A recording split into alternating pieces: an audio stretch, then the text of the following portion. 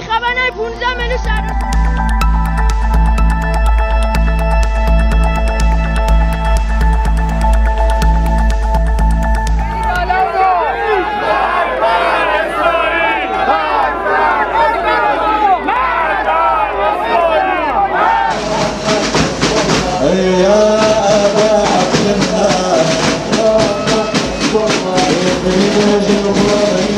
عنوان یک دانش آموز نگاه نکنید. ما همون کسایی هستیم که در آینده آرمان های امام و رهبری و شهید سلیمانی رو عملی خواهیم کرد.